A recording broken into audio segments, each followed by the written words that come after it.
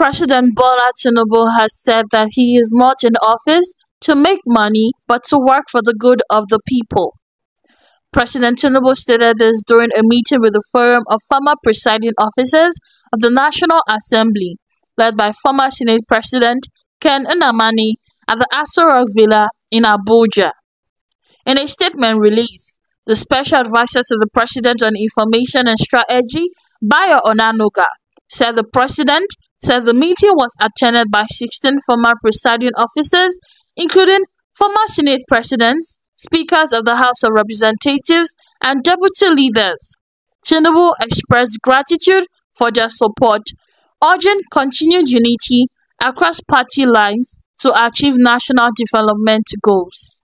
And I can tell you, I didn't come to look for money and exploit the situation. I came to work. Asked for the votes and they gave it to me. He then urged the former presiding officers to share their expertise in governance and nation building as they hold unique insights into Nigerians' current situation. Stay tuned for more updates on VOS TV.